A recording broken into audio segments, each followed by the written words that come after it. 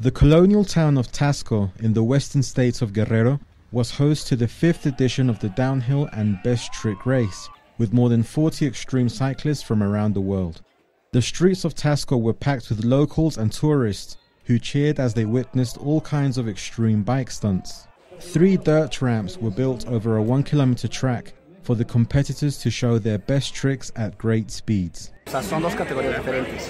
Todos pueden hacer las dos, pero unos son especialistas en bajar muy rápido, que son, por ejemplo, los que vieron que ganaron, muchos son los eslovacos, un alemán, un brasileño, y luego los otros que están aquí son los mejores del mundo en hacer que hay varios americanos, canadienses y franceses.